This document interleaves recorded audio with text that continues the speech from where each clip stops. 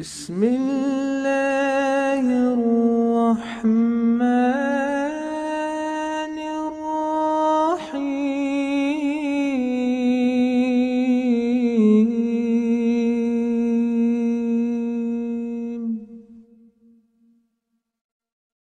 أعوذ بالله من الشيطان الرجيم.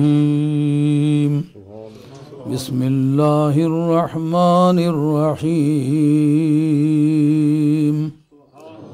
لا يتخذ المؤمنون الكافرين أولياء من دون المؤمنين. ومن يفعل ذلك فليس من الله في شيء إلا أن تتقوا منهم تقاه. ويحذركم الله نفسه. وإلى الله المصير. وقال بعد يا أيها الذين آمنوا لا تتخذوا الكافرين أولياء من دون المؤمنين. أتريدون أن تجعلوا لله عليكم سلطانا مبينا. إن المنافقين في الدرك الأسفل من النار. ولن تجد لهم نصيرا. وقال بعد لا تجد قوما يؤمنون بالله واليوم الآخر يوادون من حاد الله ورسوله ولو كانوا آباءهم أو أبناءهم أو إخوانهم أو عشيرتهم أولئك كتب في قلوبهم الإيمان وأيدهم وأيدهم بروح منه ويدخلهم جنات تجري من تحتها الأنهار فيها خالدين فيها. رضي الله عنهم ورضوا عنه. أولئك حزب الله. ألا إن حزب الله هم المفلحون. يا أيها الذين آمنوا لا تتخذوا عدوي وعدوكم أولياء.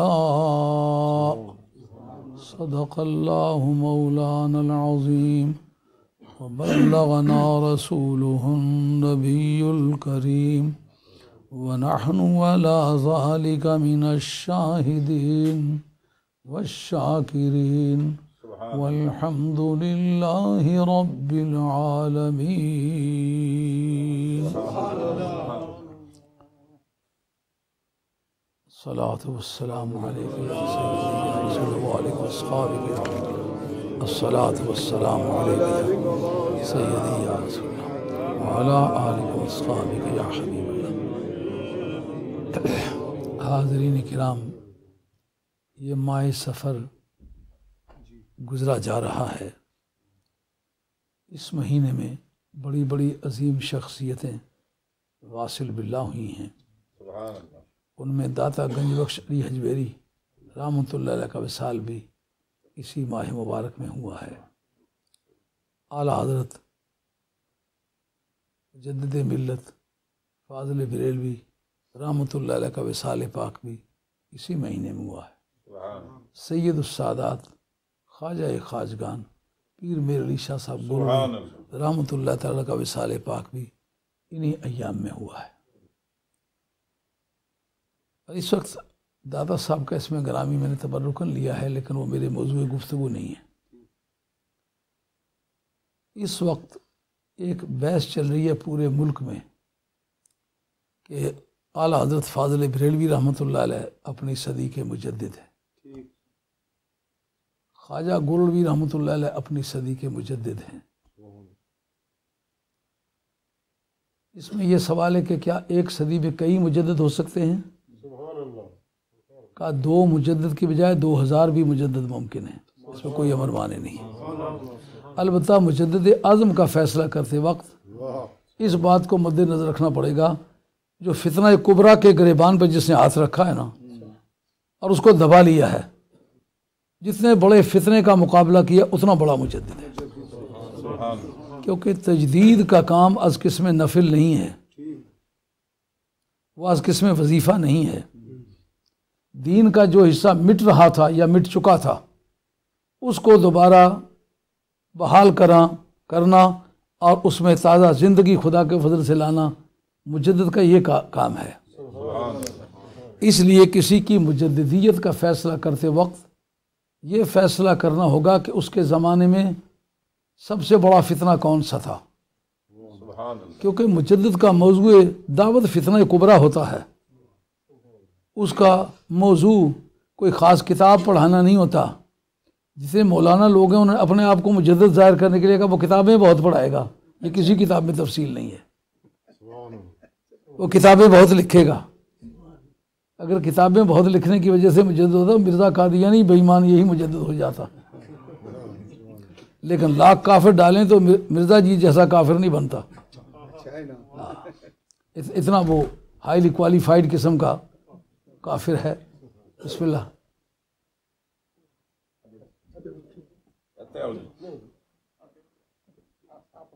بسم اللہ۔ بسم اللہ۔ میرا دوسرا قرآن میں مصروف ہے، معافی دینا مجھے۔ میرا دوسرا قرآن مجید میں مصروف ہے۔ معاف کریں گے۔ ہاں جی۔ تو اصولی طور پر جس کو مجدد کہتے ہیں نا، مجدد کا لفظ تجدید سے بنتا ہے۔ تجدید کے مطلب رینیو کرنا۔ تو رینیو اس کو کرتے جس کی ڈیٹ ایکسپائر ہو گئی ہوئی ہو۔ جس کی ڈیٹ ایکسپائر اس کو تو رینیو نہیں کیا جاتا۔ اس کا مطلب دین کے باقی شعبوں پر اگر وہ کام کرے تو اس کی بھی سعادت ہے قوم کی بھی سعادت ہے۔ مگر مدار مجددیت جس کو کہتے ہیں وہ مٹے ہوئے حصے کو دوبارہ زندہ کرنے کا نام ہے۔ اس لیے یہ جاننا بڑا ضروری ہوگا کہ اس وقت کون سا دین کا حصہ مٹ چکا تھا جو اس نے زندہ کیا ہے۔ اس وقت کے سیاسی، معاشی، اقتصادی تمام حالات کا جائزہ لینا پڑے گا۔ کیونکہ فتنہ کبرا کا تعین کرنے کے لیے یہ ضروری ہوگا کہ وہ فتنہ قانون کی روح سے شکل میں نمودار ہوا تھا۔ سیاسیات کی شکل میں نمودار ہوا تھا۔ کسی بدعقیدگی کے عنوان سے نمودار ہوا تھا، جب تک اس کے سیاسی، معاشی، اقتصادی اور اس کے تاریخی حالات کا پوری طرح جائزہ نہ لیں، اس وقت نہ اس کے مٹنے کا اندازہ ہوتا ہے کہ وہ دین مٹا کس حصے میں تھا۔ نہ اس مجدد کی تجدید کی نوعیت پتہ چلتی ہے۔ اس کے کار تجدید کو یہ جاننا مجدد کہنے کے لیے ضروری ہے۔ بہت کتابیں لکھی بڑا مدرسہ بنا لیا تھا۔ دیکھنا یہ ہے کہ اس نے کردار اس وقت کے اعتبار سے کیا کردار ادا کیا ہے۔ دین کا کون سا حصہ مٹا تھا؟ کس نے مٹایا تھا؟ اس نے زندہ کس نے کیا تھا؟ آج کے یہ فیصلہ کرنا بڑا مشکل ہے کہ یہ درس ہے قرآن مجید کا، یا یہ تقریر ہے، بہرحال یہ دونوں شخصیتیں میری نگاہوں میں بڑی جازب نظر ہیں۔ ان دونوں پر گفتگو کرنے میں ہو المس کو ماں کر رہا تھا وہ یہ جو جو اس کی استوری کو گھسو گھسو تو تو تو اس میں خوشبو بڑھتی چلی جاتی ہے۔ تو اس میں پھر یہ دیکھنا ہوتا ہے کہ جو دین کا حصہ مٹا ہوا تھا، اس کے شواہد کیا ہیں؟ کون کہتا ہے؟ واقعات کیا کہتے ہیں؟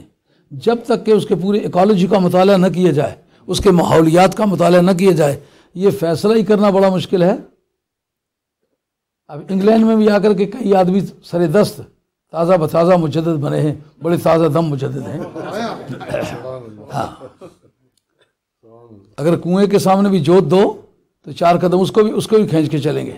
اتنے تازہ دم قسم کے مجدد ہیں۔ ہاں۔ لیکن اگر یسرن القرآن کے قواعد پر گفتگو کرو، تو ممکن ہے یسرن القرآن کے قواعد کو بالکل اچھی طرح جانتے نہ ہوں۔ لیکن ہیں وہ مجدد۔ اور اپنے دوستوں کو کہتے تم دبی آواز سے کہو نا مجدد۔ مطلب اگر دنیا اس ہاتھ کو سہ گئی تو پھر آگے بڑھیں گے، کچھ اور کہیں گے؟ لیکن سر دست اتنا تو کہو، کیونکہ اس سے اگلا اسٹیپ امام مہدی ہونے کا ہے۔ ہاں، آگے جتنے لوگوں نے اس طرح کی تدابیر کی ہیں، انہوں نے کبھی مولانا کہا ہے۔ اور میں اسی لیے کہتا ہوں، مجھے مفکر اسلام نہ کہا کرو۔ میں نے کبھی زندگی میں اس کو پسند بھی نہیں کیا اور مجھے یہ پتہ بھی نہیں کس نے یہ لقب دیا ہے۔ ہاں مجھے اس میں سید عبدالقادر جیلانی میری تاریخ پیدائش کے رجسٹر پر ہے۔ یہ مرزا قادیانی کو پہلے اس بےمان کو مفکر اسلام کہتے رہے۔ اور اس کے بعد پھر کچھ دیر کے بعد جب یہ سہ گئے لوگ، تو دبی آواز میں مجدد کہنے لگے۔ جب وہ لوگ سہ گئے، تو پھر اس نے نبوت کا ڈھونگ رچایا۔ اس طرح ایک اور بھی بزرگ ہیں، انہوں نے باقاعدہ واضح طور پر اپنی کتابوں میں لکھا ہے۔ ضرورت پڑے تو نام لے سکتا ہوں، کتابیں میرے پاس موجود ہیں۔ یہ جو لوگ کہتے ہیں کہ امام مہدی آخر الزمان ان کا قادست درمیانہ ہوگا اور رنگ ان کا گندمی سفید سفیدی مائل ہوگا، آنکھیں موٹی موٹی ہوں گی، ناک تیکھی ہوگی، ہونٹ بڑے رسیلے ہوں گے، بال گھنگریالے ہوں گے۔ باپ کا نام عبداللہ ہوگا، اپنا نام محمد ہوگا، ماں کا نام آمنہ ہوگا۔ جہاں تک میری معلومات کا سوال ہے، یہ وہ لکھتے ہیں۔ جہاں تک میری معلومات کا سوال ہے، ان میں کوئی حدیث معتبر نہیں۔ میرا اپنا خیال یہ ہے، اس کی تردید نہیں کی کہ وہ سید نہیں ہوں گے۔ کیونکہ جھوٹا موٹا خود کو سید ہونے کا شبہ تھا کہ میں بھی شاید سید ہوں۔ باپ کا نام جو ہے وہ مجھے پتا ہے، وہ سید کا نام نہیں ہے۔ اور جب حیدرآباد دکن میں کسی کا وکیل کا منشی تھا، ان دنوں وہ سید نہیں تھا۔ دلی میں آ کے وہ سید بنے تھے۔ اس کا نام نہیں لیا کہ وہ سید بھی نہیں ہوگا۔ کہا جہاں تک میری معلومات کا تعلق ہے۔ یہ سب حدیثیں کمزور ہیں، اس میں کوئی جاندار نہیں ہے۔ میرا اپنا خیال یہ ہے کہ وہ جدید ترین لیڈر فیشن آدمی ہوگا اور علوم قدیمہ اور جدیدہ کا جاننے والا ہوگا۔ اور بہت ممکن ہے کہ لوگ اس کو امام مہدی کہنے لگ جائیں، لیکن وہ خود ساری زندگی امام مہدی ہونے کا دعویٰ نہ کرے۔ کیونکہ مہدویت کر کے دکھانے کی چیز ہے، دعویٰ کرنے کی چیز نہیں۔ ان کا مطلب یہ تھا کہ مجھے دبی آواز سے یہ کہنے لگ جائیں کہ جتنے جٹ بیٹھے ہوئے ساتھی ہو تو پوچھنا جلا گام من چون لگے تو کنڈی پر ساتھ مارنے ہو کہ نہیں؟ جی کنڈی والا ہاتھ چلی گئی تو تھنے والا ہاتھ بھی چلی گئی۔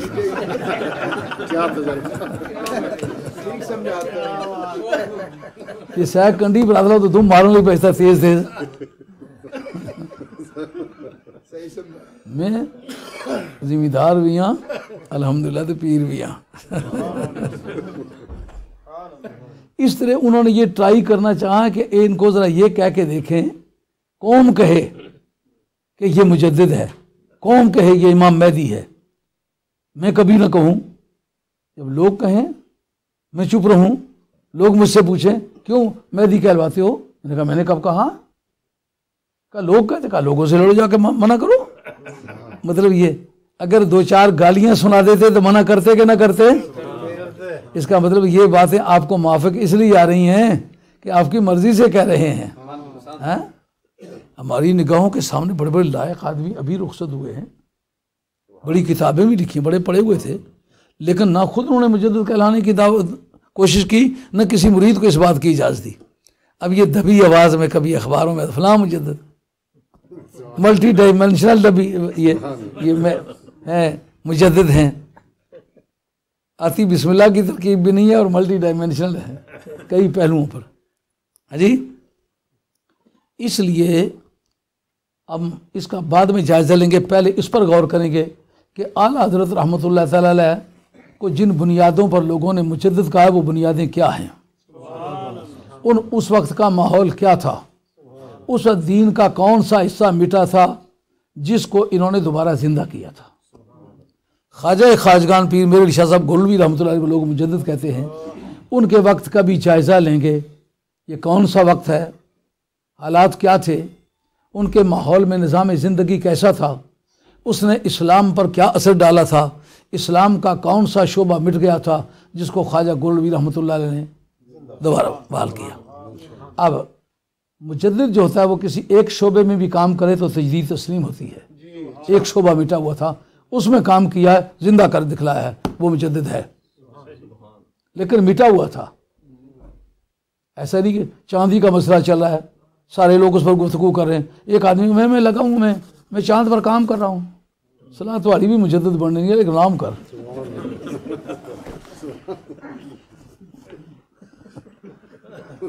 اس اس حصے میں دین مٹا نہیں ہے، یہ ایک مسئلہ ہے۔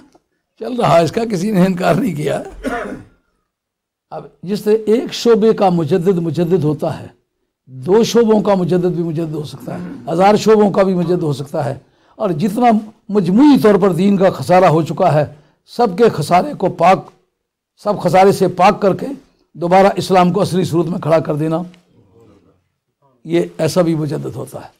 لیکن جس کی کارکردگی زیادہ ہوگی جس کی مشکلات زیادہ ہوں گی جس کا مقابلہ زیادہ سخت ہوگا جس کو سب سے بڑے فتنے سے مقابلہ ہوا ہوگا وہ مجدد اعظم ہوتا ہے اپنے اپنے وقت کا۔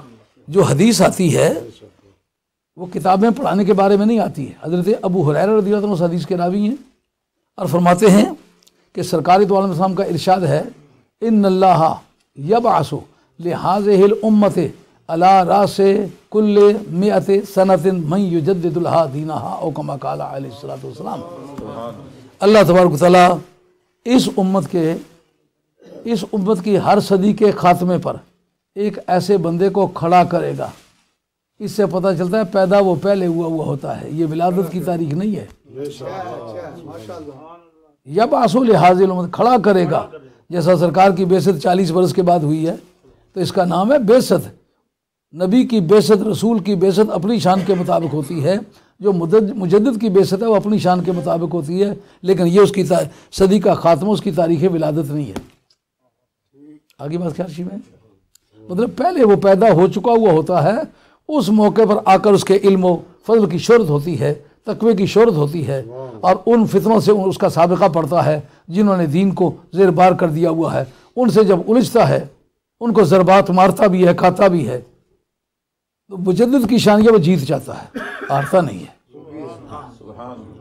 کیونکہ یہ جدد الحدینہ یہ کامیابی کی نشانی ہے نا۔ ان کے دین کو ان کے لیے تازہ کر دیتا ہے۔ یہ اس کے راوی حضرت ابو ریرہ ہیں۔ ایک حدیث کے راوی حضرت امام احمد ابن حنبل رضی اللہ تعالیٰ وہ کہتے ہیں، ان اللہ یمن علی حاضح الامت علی راس کل میت سنت برجل من آل بیتی یبین لهم امر دینہم، او کما قال علیہ السلام۔ اللہ تبارک تعالیٰ اس امت پر اقسان فرماتا ہے۔ دوسری جگہ سے کہا، اللہ تعالیٰ مجدد کو کھڑا کرتا ہے۔ اس جگہ فرما اللہ تعالیٰ اس ان اللہ یمن علی حاضح الامت علی راس کل میت سنت برجل من آتبی آل بیتی۔ جو من یمنو کی پری پوزیشن ہے، وہ با ہے۔ یمنو بی یعنی اللہ تبارک تعالیٰ ایک آدمی کو ایک مرد کو جو میرے خاندان کا ہوگا، اس کے ذریعے سے اس امت پر اقسان کرتا ہے۔ وہ کیا کرتا ہے؟ یو بین الحم امرا دین ان کے دین کے کام کو وہ بیان کر دیتا ہے۔ یعنی تجدید پر اضافہ یہ ہے، تجدید تو عملاً اس کو کھڑا کر دیتا ہے، لیکن یہ اس کے چاروں کونے تلاش کر کے نا، اس کے جتنے ابہامات ہوتے رفع کر دیتا ہے۔ قوم پر روز روشن کی طرح دین واضح ہو جاتا ہے کہ دین کا سٹرکچر اصل میں یہ ہے۔ اب اس کی روشنی میں ہم مطالعہ کریں گے قرآن مجید کی آیت کا۔ یہ بات تو آپ کی سمجھ میں آ گئی ہے۔ مجدد کیسے شخص کا نام ہے؟ مجدد کرتا کیا ہے؟ مجدد کا موضوع دعوت کیا ہے؟ کیونکہ تعریف شاہ کے بعد تقسیم شاہ ہوتی ہے۔ تعریف شاہ کے بعد احکام شاہ ہوتے ہیں۔ یہ منطق کا مسئلہ ہے۔ پہلے شاہ کی تعریف کرو۔ تعریف کیا مجدد کون ہوتا ہے؟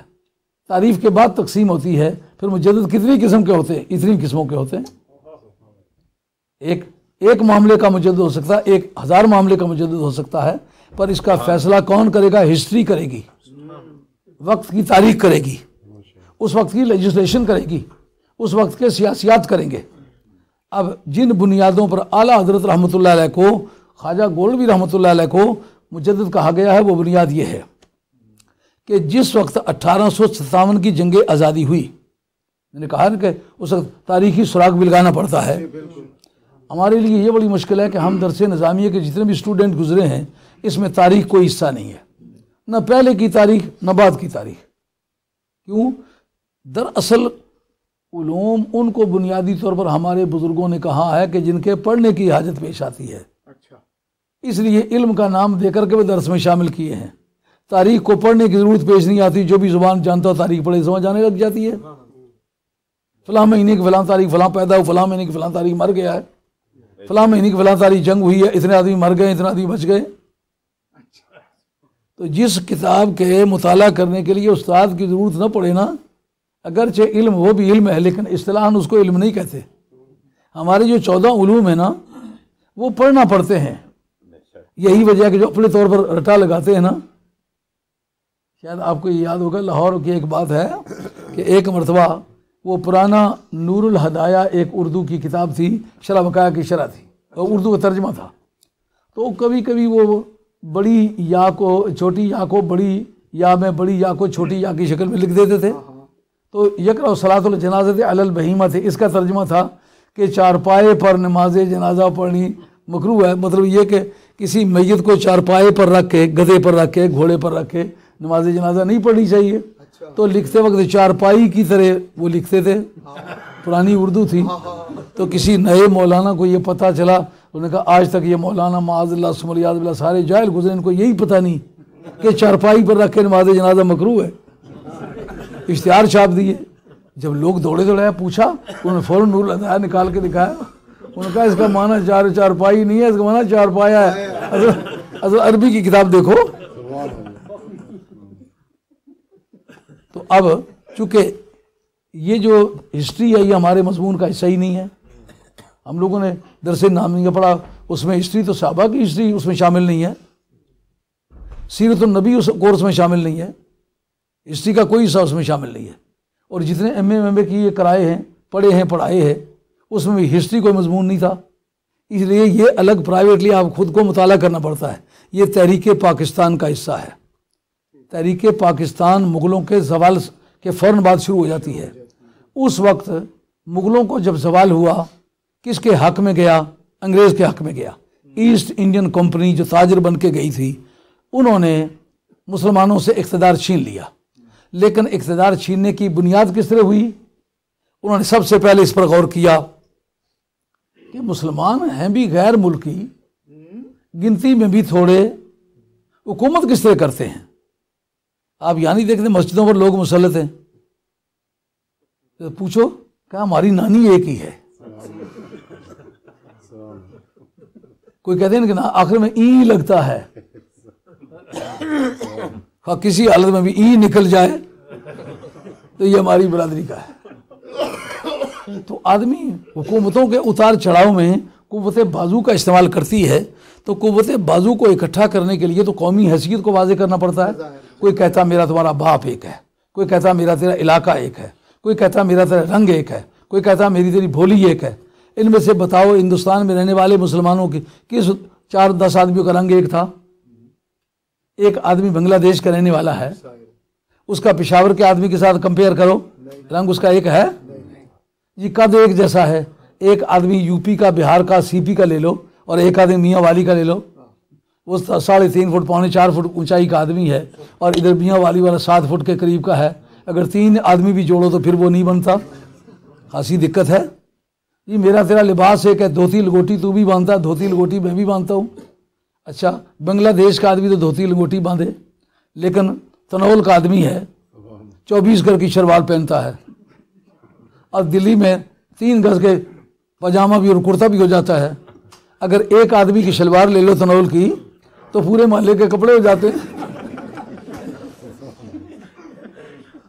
وہ کہتے تمہاری، ہماری زبان ایک ہے۔ ادھر دیکھو کوئی پشتو بولتا ہے، کوئی ہندی بولتا ہے، کوئی سندھی بولتا ہے، کوئی کاٹھیا واڑی بولتا ہے، کوئی پوربی بولتا ہے، کوئی پچھمی بولتا ہے، کوئی ٹیمر بولتا ہے، کوئی کشمیری بولتا ہے۔ سب کی زبان ایک ایک نہیں ہے۔ پھر قوم کس طرح بنے؟ سمجھ آ گئی ہے۔ یہ رنگ اور بو کا ڈیفرنس ان کی تہذیب و تمدن کا ڈیفرنس ان کے قد قامت کا فرق، ان کے روزانہ کی سندھ کا آدمی ہے، وہ کہتا ہے رشتہ دار ہے تو بیوی ہے اور خوراک ہے تو جوار ہے۔ ہاں؟ کشمیر کا آدمی کہتا ہے جناب، اگر روٹی ہے تو مکی کی ہے اور اگر کھانا ہے تو چاول ہے۔ ایک آدمی بنگلہ دیش کا اس سے پوچھو، ان کا جناب، مچھی اور چاول، یہی زندگی اور یہی خوراک ہے۔ اب خوراکیں بھی مختلف، بولیاں بھی مختلف، رنگ بھی مختلف، ان کو ایک کس نے بنایا؟ وہ جو ایک بنانے والی طاقت ہے، اس کا نام ہے قومیت۔ سمجھے بات؟ ہاں؟ وہ کیا تھا؟ حضرت شاہ عبد الحق صاحب، محدث دہلوی رحمۃ اللہ علیہ کی مکتوبات شریف، مکتوب نمبر اٹھارہ۔ اس کے اندر لکھتے ہیں، باوجود چندی مذاہب و عقائد کے در در عالم اسلام یافتہ می شوند ایج کسرا دری اختلاف نیست کہ نبی کریم علیہ الصلوۃ والسلام زندہ و پائندہ بحیات حقیقی بلا تواہم مجاز است. و بر اعمال امت و حاضر ناظر. آپ کے بریڈ فورڈ میں اس کا ترجمہ کیا ہوا ہے کہ اعمال امت پر پیش کیے جاتے ہیں. جس سال میں ایسے تین سال بعد میں نے ایک بڑے اکھاڑے میں وہ کتاب پیش کی تھی. میں نے کہا اصل کتاب یہ ہے اب بر اعمال امت حضر ناظر کا ترجمہ یہ کرنا کہ امت سرکار پر پیش کیے جاتے ہیں اعمال تو فہ تمہاری اس شعور کو کہ تم نے حضرت شاہ عبد الحق صاحب رحمۃ اللہ علیہ کی بات کا ترجمہ کرتے ہوئے کتنی بڑی خیانت کی۔ وہ کہتے ہیں، امت امت کے اعمال پر حاضر و ناظر ہیں۔ یعنی امتی کہیں کوئی عمل کرے، سرکار اس کو دیکھتے بھی ہیں، جانتے بھی ہیں، موجود بھی ہیں۔ اعمال پیش کیے جاتے ہیں مطلب کشمیر میں عمل کرتا تو کشمیر سے جب تک اٹھا کے سرکار کے روزہ شریف پر پیش نہ کیے جائیں، اس وقت پتہ نہیں ہوتا کتنا ڈیفرنس ہے۔ یہ خیانت کی ہے کہ حضور شاہ عبد الحق محدث دہلوی رحمۃ اللہ نے کہا کہ امت مسلمہ میں اٹھا دس سو چون میں آپ کا سن وفات ہے۔ تو اس کا مطلب گیارہویں صدی کے وسط تک اس عقیدے کا کوئی مسلمان اس سرزمین میں نہیں تھا جو یہ کہے کہ سرکار حاضر و ناظر نہیں ہے۔ یہ ذمہ داری سے لکھ لیں۔ میرے پاس کتاب موجود ہے اس وقت میں۔ کتابیں نہیں لایا میں، کل مجھے پاکستان جانے جلدی میں ہوں کتابیں نہیں لا سکا، لیکن ایگزیکٹلی جو لیٹر کا نام لے رہا لیٹر نمبر اٹھارہ، جو عبارت پڑھی ہے، بے شک چیک کر لے۔ وہ برکت کے لیے کتاب سامنے رکھتا ہوں، وہ کرنا، وہ میں نے سارا کام الحمدللہ کیا ہوا ہے۔ تو اب پتہ یہ چلا کہ گیارہویں صدی تک اس عقیدے کا کوئی آدمی سرزمین ہند میں مسلمان کہلا کے نہیں تھا۔ اگر یہ مسلمانوں کے عقائد تھے، تو گیارہ سو برس کا زمانہ ان عقائد کے پہنچنے کے لیے کافی نہیں تھا۔ اور شاہ عبد الحق صاحب رحمۃ اللہ علیہ جیسا جامع آدمی جو مکہ کے کعبہ شریف کا پڑا ہوا اور مدینہ طیبہ میں آ کر کے سرکار کی مسجد نبی کا امام اور خطیب وہاں سے سرکار کے کہے پہ چھوڑ کے آیا، اس کو اس کی اطلاع نہیں تھی۔ آج پورے عالم اسلام میں کہا جاتا ہے کہ شاہ عبد الحق عالم اسلام کا سرزمین ہند کے لیے فرسٹ ٹیچر ہے، معلم اول ہے۔ اور بعد میں آنے والا کوئی بھی شخص کسے باشد کوئی بھی ہو شاہ عبد الحق صاحب رحمۃ اللہ کے جوڑ کا نہیں ہے۔ آپ کے پاس جو سنیت پائی جاتی ہے جس نے بھی لکھی ہے آپ کمپیئر کریں۔ اگر شاہ عبد الحق صاحب سے مطابقت کھاتی ہے تو وہ سنی ہے۔ نہیں تو سب اس کے ایڈیشن کیا ہوا ہے۔ سنیت سے اس کا کوئی تعلق نہیں جو سینوں پر لکھی ہوئی سنیت تھی وہ خواجہ اجمیری نے پہنچائی تھی۔ وہ تاتا گنج بخش علی اجمیری نے پہنچائی تھی۔ وہ سید زنجانی نے پہنچائی تھی۔ ان اکابر اولیاء اللہ نے پہنچائی تھی۔ لیکن جو کاغذ پہ لکھ کے سنیت پیش کی ہے وہ پہلا ریکارڈ اس کا تکمیل الایمان ہے۔ آپ اس کو علماء کی خدمت انتہائی ادب سے عرض کروں گا ایک مرتبہ نہیں اس کو آٹھ دس مرتبہ سنجیدگی سے پڑھیں۔ پھر دیکھیں کہ عام جو اس وقت کے پڑھے لکھے لوگ ہیں ان کے عقائد میں اور جو سابقہ مسلمانوں ماؤں بہنوں سے سنتے رہے ہو ان کے عقائد میں مطابقت کس سے بنتی ہے؟ پھر آپ کو پتہ چلے گا۔ جو سرکار زار الفساد فی دین کم فعلیکم بدین العجائز جب تمہارے دین میں جھگڑا پڑ جائے تو پہاڑوں کی چوٹیوں پر رہنے والی بوڑھیوں کا مذہب اختیار کر لو۔ اس وقت آپ کو شاہ دلاق صاحب رحمۃ اللہ مطالعہ سے پتا چلے گا کہ مذہب اصل میں کیا ہے۔ آئی بات سمجھ میں؟ اگر یہ عقیدہ کہ سرکار کو کچھ پتہ نہیں، دیوار کے پیچھے کا پتہ نہیں، اور ذمے لگاتے ہیں شاہ عبدالحق صاحب رحمۃ اللہ علیہ کے۔ شاہ عبدالحق صاحب رحمۃ اللہ علیہ کی مدارج النبوت جلد اول، صفحہ نو۔ یہ عبارت جو اسماعیل دلوی صاحب نے جا بجا لکھی ہے کہ شاہ عبدالحق صاحب لکھتے ہیں من پیغمبر خدا حسدم و نمید عالم کے پسے دیوار چیز یہ اس کو واوین میں لکھ کے سائن آف کوٹیشن دے کے شاہ عبدالحق صاحب کہتے ہیں ای سخن اصل ندارت کہ من پیغمبر خدا ہستم و نمی دانم کے پسے دیوار چیز ای سخن اصل ندارت یہ جو کوٹیشن میں نے تمہارے سامنے پیش کیا یہ بےمانوں کا کوٹیشن ہے۔ اس کا اسلام سے کوئی تعلق نہیں۔ دیوار کے پیچھے کا نبی کا کو پتہ نہیں، عرش کے پرے کا پتہ ہے تو دیوار کے پیچھے کا کوئی پتہ نہیں۔ بیٹھا ہوا زمین پر باتیں کرے، عرش برین کی۔ آئے پٹوار کا ایک جگر سوکھتا، سادہ سا شاعر ہے، وہ کہتا ہے، کرسی عرش تے بوریا فرش تے ہے۔ کرسی عرش تے بوریا فرش تے ہے۔ بیٹھا، کرسی نشین زمین تے۔ بوریا ممنون خواب راحت ہے آتش واہ واہ یہ علامہ اقبال مرحوم کا کلام ہے ایسا مانگتا ہے لگتا ہے کہ علامہ اقبال مرحوم نے اسے بھیک مانگی ہے اس کے کلام میں وزن زیادہ ہے بوریا ممنون خواب راحت تاج کسرا زیر پائے امت چٹائی نبی پاک علیہ السلام کی ممنون خواب ہے کہ عرش پر سو سکنے والا چٹائی پر سویا ہوا، چٹائی پر مہربانی ہے سرکار کی۔ اور کیسر و کسرا کے تاج سرکار کے غلاموں کے گھوڑوں کے پاؤں کے نیچے رود رہے ہیں، لیکن پٹوار کے شاعر کا وزن اس سے زیادہ ہے۔ کہتا کرسی عرش دے، بوریا فرش دے ہے وسیع کرسی اس سماوات اس جگہ صاحب فضل باری نے لکھا ہے، کہا، کرسی خدا کی ہے؟ کہا، خدا کا سارا ساری کائنات ہے۔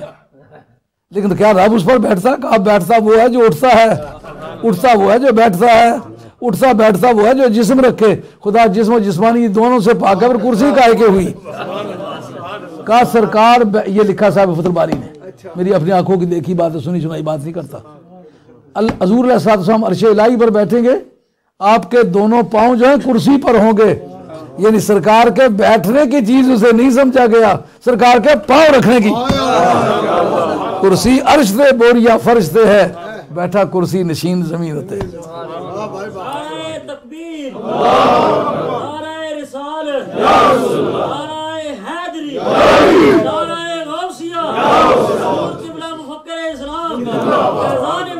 اسلام۔ کافی بڑی تعداد ہے علماء کرام کی میں آ کر کے بیٹھ گیا ہوں، تقریر کرنے لگ گیا ہوں۔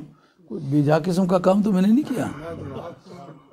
ایسا تو نہیں ہے کہ یہ ان بزرگوں نے کوئی بات ہی نہ کی تو میں آ کے بیٹھ کے باتیں کرنے لگا ہوں۔ مجھے ذرا جلدی اس میں تھی کہ میں، مجھے کل جانا ہے پاکستان۔ وہ ان دنوں دھماکے واقع کافی ہو رہے ہیں نا۔ تو دوستوں نے مجھے کہا کہ آپ اس جلسے کے لیے مت جائیں۔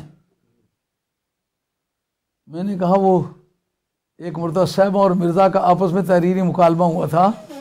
کہ سدے یار تے پھر انکار ہوئے۔ اے کم نہیں، سچیاں یرانیاں دے۔ سدے یار تے پھر انکار ہوئے۔ اے کم نہیں، سچیاں یرانیاں دے۔ جڑی رات آئی پینے قبر اندر آیا رہندی او نہیں، وچ آستانیاں دے۔ پر ڈک دتیوں رہن دریا نہیں۔ آیا آیا رہن رہن دریا نہیں۔ عاشق رہن نہ نال بہانیاں دے۔ میں نے کہا کہ مرنا ہی ہے تو اس سے زیادہ اچھی موت بھی نہیں لیکن ایک میرا بھائی ہے اس نے بلایا ہے کیسے بھی خطرناک حالات ہی جاؤں گا انشاءاللہ۔ اللہ کے قبضے میں ہے۔ اگر اللہ خیریت سے لانا چاہے گا تو آ جاؤں گا؟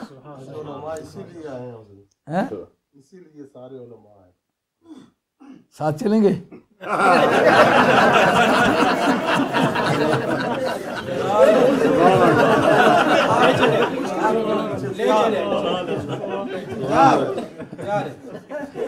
ہم نے ہم نے چند تحریکوں میں یہ بات دیکھی ہے۔ لاکھوں کی تعداد میں مجمع ہمارے ساتھ جلوس نکالے ہوئے جا رہے ہیں۔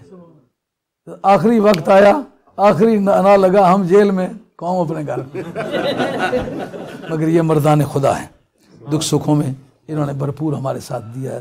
ہمارا ساتھ دیا۔ ہم یہ الزام ان کو نہیں دے سکتے کہ یہ مشکل وقت کے ساتھ ہی نہیں۔ اصل گال ہے گرو جنہ دے پدنے چیلے بیٹر کا نہ ہم خود کسی مصیبت سے ڈرتے ہیں، نہ ہمارے دوست ڈرتے ہیں۔ وقت مقرر ہے، موت کسی سے ٹلتی نہیں ہے۔ موت سے اگر ٹلتی ہے نا، تو دعاؤں سے ٹل جاتی ہے۔ لا یرد القضاء الا دعا تقدیر کو کوئی نہیں ٹال سکتا، پر دعائیں ٹالے۔ دی اتنے مردان خدا مل کے اگر دعائیں کریں گے، بگڑے گا کیا؟ تو پھر مجھے اجازت میں جاری رکھوں کیا بات کافی بزرگ بزرگ صورتیں نظر آ رہی ہیں عرض ہے یہ مسئلہ زیر بحث تھا کہ یہ عقیدہ جو تھا اس عقیدے کی بنیاد کیا تھی اس عقیدے کی بنیاد کا نام ہے مسلم قومیت جس نے مختلف بولیاں بولنے والوں کو مضمون یاد ہے جی پیچھے سے ہاں، انتقالات کلام میں آتے رہتے ہیں آدمی کو اصل جو ٹیکسٹ ہے وہ یاد رہنا چاہیے کہ کہاں کیا بحث چل رہی ہے۔ ہندوستان کے مسلمان تھوڑے ہو کے بھی جب تک حاضر و ناظر کے قائل تھے، اس وقت تک غالب تھے۔ جس وقت سمجھتے تھے کہ میں، میرا جو نبی ہے، چاہے تو چاند کو توڑے، چاہے تو سورج کو موڑے، چاہے تو پتھروں کے دریا پہ تیرائے، اس وقت تک تو ہار نہیں کھائی نا۔ جس نے کہا، میرے اور تیرے جیسا ہے انہوں نے کہا، تیرے جیسے کو تو بیگ میں کان پکڑا کے دس جوتے صبح اور دس شام کو مارتی ہیں۔ تو کس بنیاد پر کہتا ہے تو حضور جیسا ہے؟ جس دن سے یہ عقیدہ بدلا ہے، اس دن سے مسلمانوں کی ذلت کے دن بھی آئے کہ نہیں آئے؟ لیکن اگر یہ مسلمانوں کا عقیدہ ہوتا، سید علی متقی دکنی اس عقیدے کے بانی ہوتے۔ سید علی متقی دکنی، آپ کا اسم گرامی ہے، سید شاہ عبد الوہاب گیلانی گیلانی سادات سے، سلسلہ طریقت میں قادری ہیں۔ یہ جو کنز العمال ہے یہ ان کی کمپیلیشن ہے۔ اصل کلیکشن جو ہے یہ امام جلال الدین سیوطی کی ہے۔ اچھا۔ ہاں اس کو کلیکٹ امام جلال الدین سیوطی نے کیا ہے۔ کمپائل ہونے کے ترتیب وار انہوں نے اس کو اکٹھا کیا ہے۔ اس لیے منصوب سید علی متقی دکنی کی طرف ہے۔ ان سے شاہ عبد الحق صاحب نے استفادہ بھی کیا ہے۔ استادی شاگردی کا بھی تعلق ہے۔ سید علی متقی دکنی۔ اگر یہ مسلمانوں کا عقیدہ ہوتا وہ انہوں نے پڑھایا ہوتا۔ شاہ عبد الحق صاحب نے پڑھایا ہوتا۔ حضرت ملا جیون امبیٹوی نے پڑھایا ہوتا۔ یہ اکابر علماء ہے یہ آپ جس کو کہتے ہیں ملا جیون امبیٹوی یہ صحیح آپ کے عقیدے کا آدمی ہے۔ اس نے انما حرم علیکم المیتہ کی تفسیر، جس طرح اعلیٰ حضرت فاضل بریلوی نے کی ہے، یہ ٹھیک ایگزیکٹلی اس کی کاپی ہے۔ تفسیرات احمدیہ آپ مطالعہ کریں۔ باقاعدہ جانوروں کے نام لیے ہیں۔ یہ بزرگوں کے نام اصال ثواب کے لیے جو آپ مانتے ہیں، یہ شرن درست ہے۔ اس میں کوئی مذاقہ نہیں۔ ابن کثیر کا انہوں نے نام نہیں لیا۔ لیکن بالکل لفظ بلفظ تردید ایسی کی ہے جیسا ابن کثیر کو سامنے رکھ کے کی ہے۔ اچھا۔ فاضل آدمی۔ ہے یہ اگر مسلمانوں کا عقیدہ ہوتا نا فضل خیر آبادی نے بیان کیا ہوتا۔ ہاں؟ ہندوستان کی سرزمین انتہائی مردم خیز ہو کر کے فضل خیر آبادی کا ثانی نہیں پیدا کر سکی۔ اس وقت ہماری اطلاع کسی بزرگ کی میں توہین نہیں کرنا چاہتا مگر یہ بات میں کہنے میں حق بجانب سمجھتا ہوں اپنے آپ کو۔ کہ فضل حق، خیر، آبادی کا ثانی سرزمین ہند نے پھر نہیں پیدا کیا۔ اگر یہ مسلمانوں کا عقیدہ ہوتا تو پھر انہوں نے پھیلایا ہوتا۔ انہوں نے جنہوں نے کہا نبی میرے جیسا ہے، میں نبی جیسا ہوں، انہوں کو پتہ چل گیا کہ یہ نئی نبوت کے سامان ہو رہے ہیں، یہ خام مال۔ جس سے کوئی بلڈنگ بنانے لگتا ہے تو خام مال اکٹھا کرتا ہے، اینٹیں اکٹھی کی اور بجری اکٹھی کی، ریت اکٹھی کی، سریا اکٹھا کیا۔ ان کو دیکھ کے تو کوئی آدمی یہ تو نہیں سمجھتا یہ ہانڈی پکانے لگا ہے۔ یہ مکان بنانے کے لیے ہے۔ یہ جو نیا سامان اکٹھا کیا جا رہا تھا، اسی لیے انہوں نے امتناع نظیر پر گفتگو کرتے ہوئے کہا، جو کہے مثل مصطفیٰ ممکن ہے وہ کافر ہے۔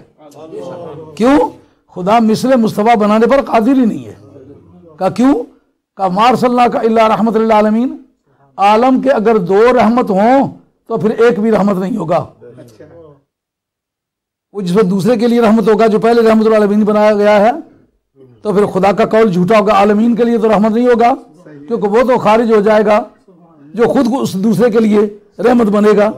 اگر اسی طریقے سے وہ دوسرا جو ہے پہلے کے لیے رحمت بنے، تو پھر قول باری تعالیٰ اس کے بارے میں جھوٹا ہو جائے گا۔ دو رحمت نہیں ہو سکتے۔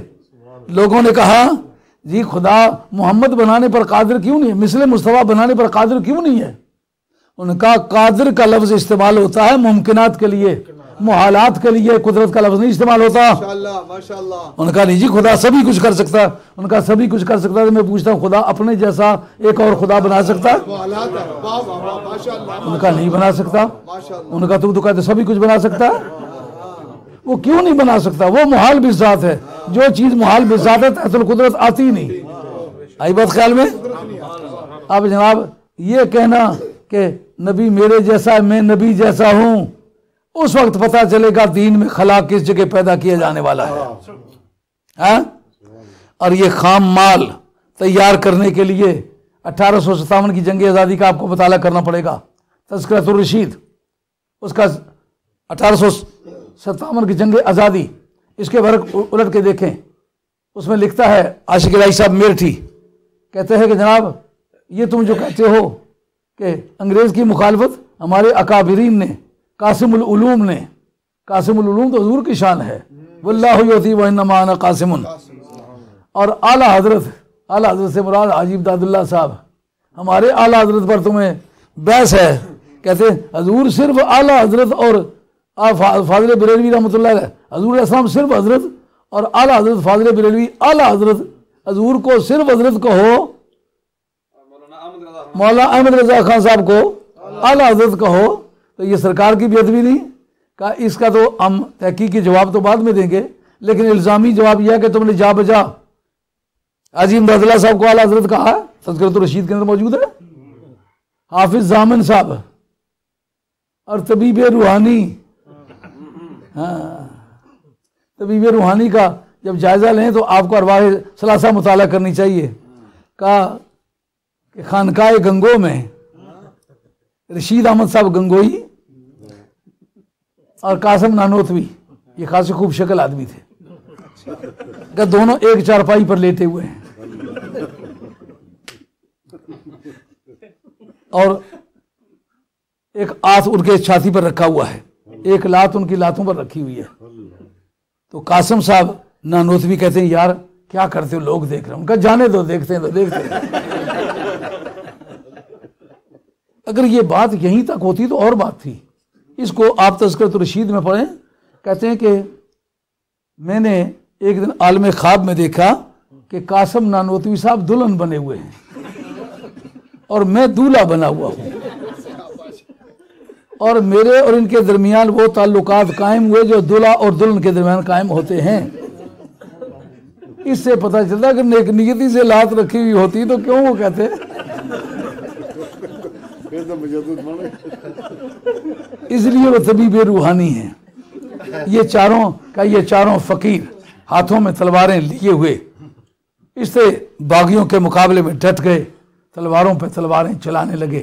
گویا زمین نے پاؤں پکڑ لیے ہیں۔ ہاں۔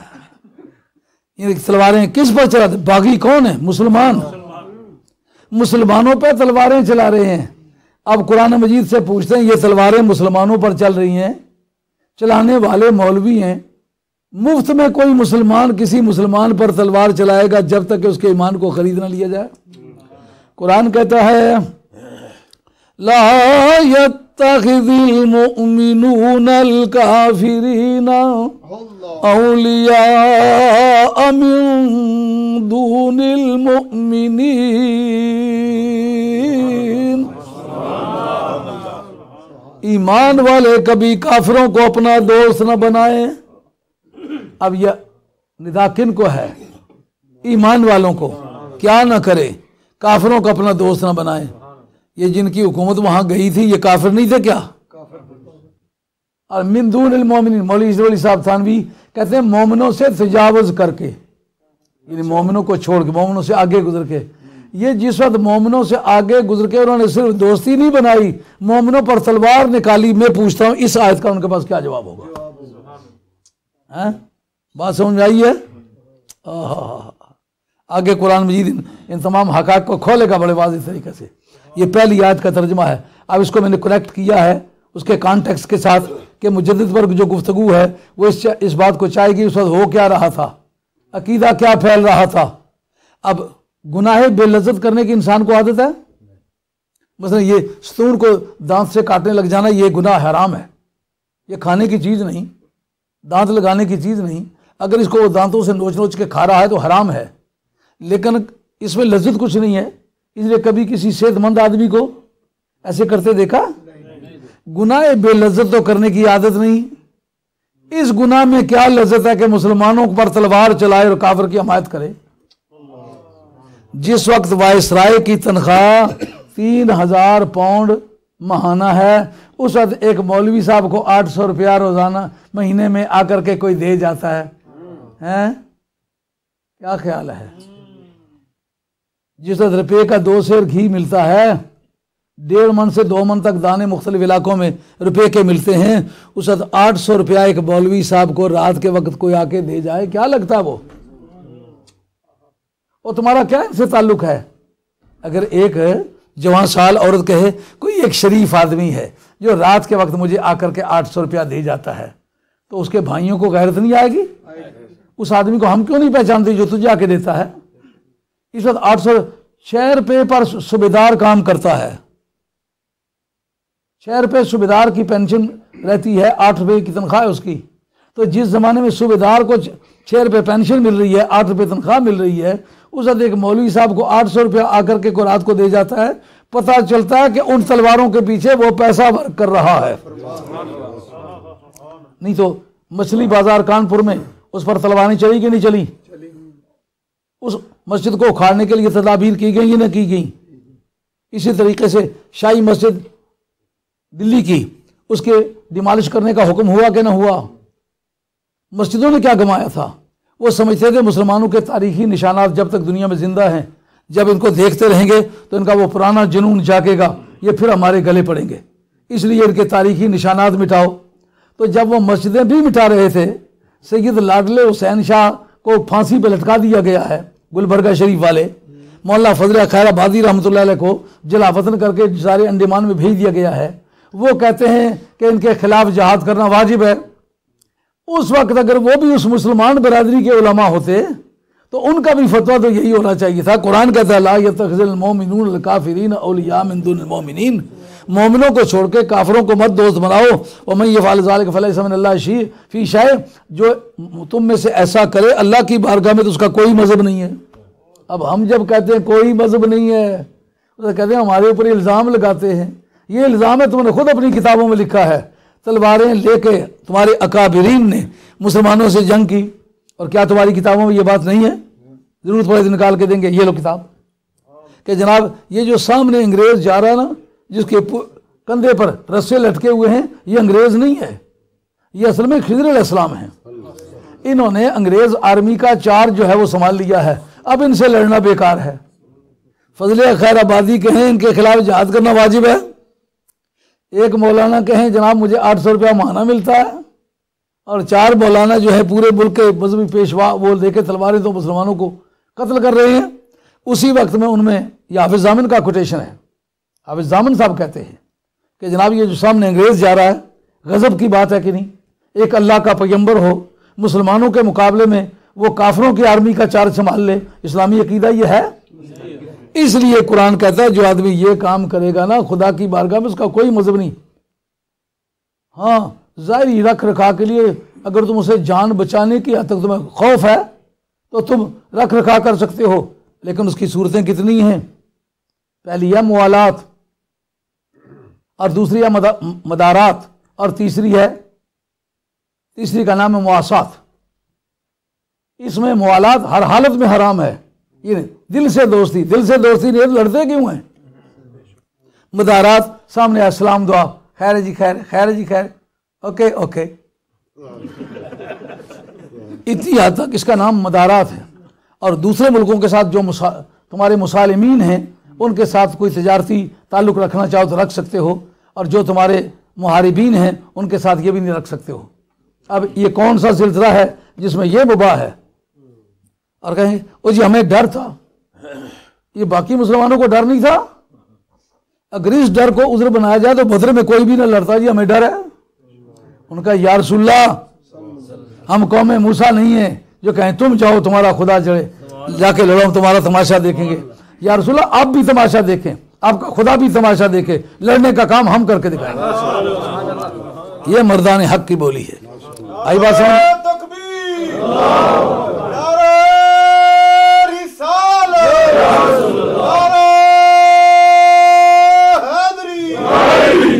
قرآن اسے کہ کہتا ہے جو حضرکم اللہ نفسا، اللہ اپنی ذات سے، اپنے غضب سے دونوں ترجمے کیا علم نے اللہ تعالیٰ اپنے غضب سے ڈراتا ہے یا اپنی ذات سے ڈراتا ہے۔ اور آگے جو کہنا بھائی اللہ المسیر میری ہی طرف لوٹ کے آؤ گے۔ ہاں؟ کیسا خوبصورت جملہ ہے خاتمے پر۔ خواتین میں آیات مستقل علم ہے، اس کو جاننا پڑتا ہے۔ فن تفسیر میں اس کی اتنی اہمیت ہے کہ سارے مضمون پر پوری طرح روشنی ڈالتا ہے۔ یعنی کسی حالت میں بھی یہ درست ہوتا نا، تو ہم تمہیں یہ دھمکی نہ دیتے کہ لوٹ کے ہمارے پاس آؤ۔ گے ایک آیت گزری ہے، اب دوسری آیت لیجیے جس میں یہ بات بھی اڑا دی ہے۔ یا ایوہا الذین آمنوا لا تتخذوا الكافرین اولیاء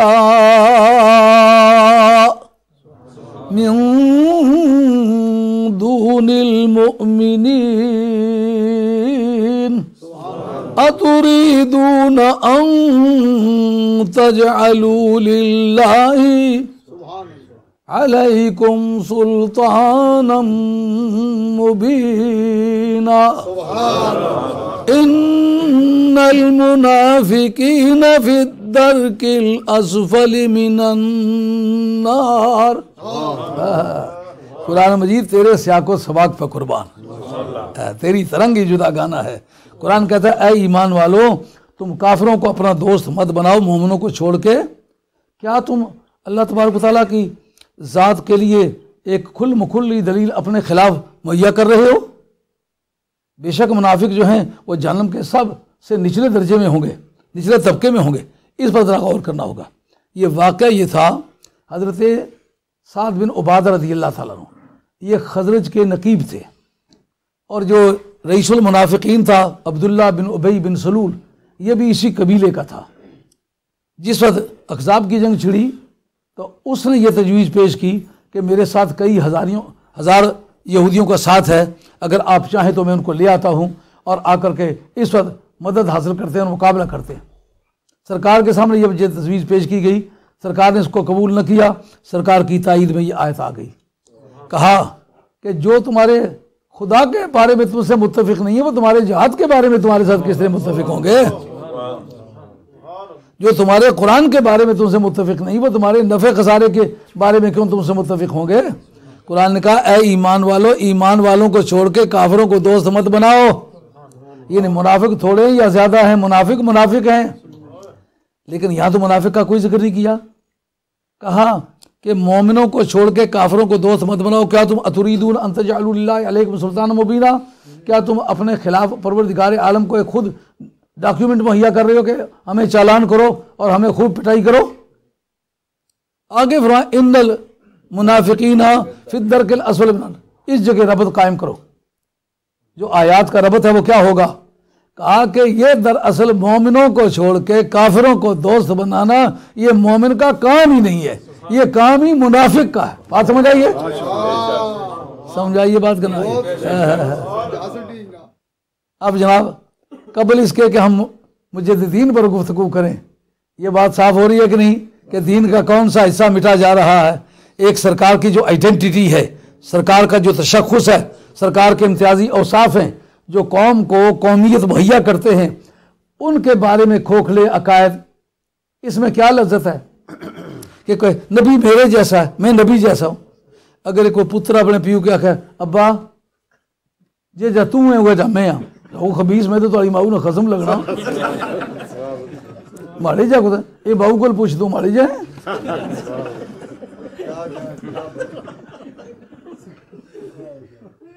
اگر ایک بیٹا باپ جیسا نہیں ہو سکتا، ایک امتی نبی جیسا کیسے ہو سکتا؟ ہے اس گناہ اس گناہ میں لذت کون سی؟ کوئی لذت نہیں۔ کیوں کرتا تھا؟ اصل میں جنہوں نے حکومت کرنی تھی، ان کا یہ خیال تھا کہ مسلمان ہیں بھی فارنر غیر ملکی لوگ ہیں۔ گنتی میں بھی تھوڑے ہیں۔ حکومت کس طرح کر رہے؟ کہا ان کا یہ جو عقیدہ ہے نا، ہر دکھ سکھ میں ہمارا نبی ہمارے ساتھ ہے۔ ہماری ہر مشکل میں کام آتا ہے۔ نبی کو ہماری ہر نقل و حرکت کا پتہ ہے۔ جس وقت وہ میری بانی کرنا چاہے تو قطرے کو دریا کر سکتا ہے۔ اس کی موجودگی میں ہمیں کسی کی پناہ کی ضرورت نہیں۔ پہلے وہ عقیدہ اس لیے کھوکھلا کیا، یہ جو جھگڑا چل رہا ہے نا جی یہ ختم شی میں سواب پہنچتا کہ نہیں پہنچتا؟ کھڑے ہو کے سلام پڑھنا چاہیے کہ نہیں؟ یہ دین کے ان امور میں سے ہیں کہ جن پر کوئی دین کا بنیادی انحصار نہیں ہے۔ دین کے مسائل ہیں مگر انحصار ان پر نہیں ہے۔ یہاں سے یہ مسئلہ شروع کیوں ہوا؟ ہوا جی ٹالا صاحب۔ پہلے کنڈیل ہاتھ لاؤ۔ یہ کنڈیل ہاتھ چلی گئی تو تھنے والا بھی چلی گیا۔ یہ وجہ تھی۔ آج ہمارے علماء پر یہ الزام ہے کہ یہ یہ مسئلے بیان کرتے ہیں۔ اب کوئی جھگڑا جس مسئلے میں کرے جواب تو اسی مسئلے کا دینا ہوگا۔ ایک بندہ اسا نے کولیا نو آخنا وہ جی مولویاں اپنے کھانے پینے واسطے کیتا ہے۔ دیکھا مولوی کلے کھانے پہ یا تساں بھی بچے کھانے پہ ہیں؟ دیکھا مولوی حلوے دیکھو گائے جو تساں دس دس بارہ بارہ رکاویاں حلوے نہیں کھا دیاں کدے کتے کا بھی بہت دس رکاویاں نہیں کھائی سکا۔ کتے نہ تاں کدا کہ کھانے سب لو زیادہ حریص آل علمی دی تحقیق دے مطابق۔ رجیا اسی اگلا کہہ کر چھڑتی، اور کھائی چھڑتی۔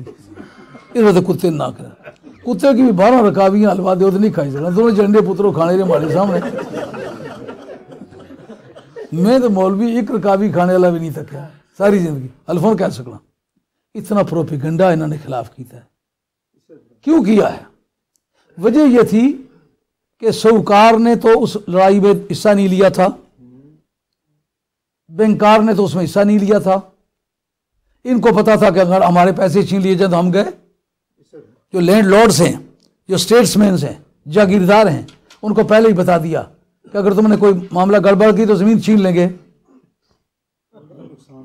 وہی دبک گئے۔ اب جس وقت باقی لوگوں کی باری آئی، مستریاں کیا کہنے دیکھا جاؤ اپنا کام کر۔ تیشا دوانی نہ لبنا۔ دوانی دی کلوتری لبنی۔ آنے نہ ستھرا لبنا۔ آنے نہ برما جا لبنا۔ دو ترا روپیے خرچ کرساں ہتھیار موجود ہوئی گا جتھا گیا۔ لوگوں کوٹے چڑوانے تو سن چاڑنے نائیا کیا کرنا کہا نہ ماڑی کسی کن سونا دو روپیے لاسا زمین رچھانی بنائی کن سا چونکہ مسئلہ یہ خالص اعتقادی تھا نا، آپ غور کریں۔ چونکہ علماء سیاسیات میں حصہ نہیں لیتے، ان کو سیاسیات کے علوم کا مطالعہ کرنا نہیں ہوتا۔ یہ سیاسیات کا مسئلہ ہی نہیں ہے۔ یہ اسلامیات کا مسئلہ ہے کہ کافر آیا ہے مومن گیا ہے۔ مومن کتنا بھی گنہگار تھا، مومن تھا۔ یہ کافر کتنا بھی اچھا ہے کافر ہے۔ مومن کی حکومت کا زوال اور کافر کی حکومت کا اقتدار قبول کرنا یہ اس قسم کفریات ہے۔ اعتقادی طور پر ہم نہیں قبول کر سکتے۔ تو یہ نعرہ اسلامی تھا نا۔ یہ ظاہر ہے کہ کسی جاگیردار نے تو نہیں مارا ہوگا۔ کسی بینکار نے تو نہیں مارا ہوگا۔ کسی سوکار نے تو نہیں مارا ہوگا۔ یہ مارا ہوگا تو یا پیر نے مارا ہوگا یا مولوی نے مارا ہوگا۔ یا سید نے مارا ہوگا جو مذہبی رانوا تھے۔ اس لیے ان کے خلاف سب سے پہلے پروپیگنڈے ہوئے۔ سمجھ آ رہی ہے بات کہ نہیں آ رہی؟ آپ لوگ عمر میں چھوٹے ہیں، میں کافی عمر رسیدہ آدمی ہوں۔ میں نے اپنے کانوں سے یہ باتیں سنی ہیں کہ پیر کے خلاف ڈرامہ ہوا، کہ ایک عورت ہے، اس نے اپنی انگشتی اتار کے کسی بول میں رکھی، کارنس پہ۔ تو سال کے بعد لوگ اتار کے برتن صاف کرتے ہیں۔ تو اس کو ذہن سے نکل گئی کہ میں نے وہ انگشتری کہاں رکھی تھی؟ تلاش کی نہ مل سکی حسابی کے لیے پاس چلے گی اب کوئی بھی پیر آپ نے حساب کرتے ہوئے دیکھا؟ ہے خواجہ گولڈوی کی تاریخ میں زندگی میں حساب ہے؟ والی بغداد شہنشاہ جیلان کی زندگی میں حساب کا کوئی حوالہ ہے؟ داتا گنج بخش کی تاریخ میں کوئی حساب کرنے کا حوالہ ہے؟ خواجہ معین الدین چشتی اجمیری کے حساب کے کی تاریخ زندگی میں حساب کرنے کا کوئی حوالہ ہے؟ اس کا مطلب پیروں میں حساب کرنے والے نہیں تھے۔ یہ جوہلا میں تھے، یہ کہن رملی اور رجوبی، ان کا شمار پیروں میں نہیں ہوتا، ان کا گمراہوں میں شمار ہوتا۔ کہا پیر کے پاس چلی گئی حساب کرانے کے لیے انہوں نے کہا تری پڑوس نے چھپایا، وہ چرا لی ہے تری گزری لڑائی ہوئی، بندے مارے گئے، کیس قتل کے چل رہے ہیں۔ اور جناب سال کے بعد جب برتن اتارے، تو برتنوں میں سے وہ گزری نکل آئی۔ اب اس کو یاد آ گیا، میں نے خود رکھی تھی۔ اب پیر کے بارے میں ثابت کیا کہ وہ بوگس باتیں کرتا تھا۔ آپ نے اپنی ایمانداری سے بتایا حضرت آپ نے جتنے آل دل پیر دیکھے کس کا زندگی میں یہ دیکھا ہے وہ حساب کیا کرتا تھا؟ جھوٹے آدمی یہ کام کیا کرتے تھے؟ مولانا کے میں نے اپنی آنکھوں کے ساتھ ایک پوری پلیٹ الوا کھانے والا قسم کھا سکتا ہوں پوری زندگی میں کوئی عالم نہیں دیکھا۔ لیکن انہوں نے کس سے کیا جوڑے؟ وانگ پہاڑا حلوا ہوئے۔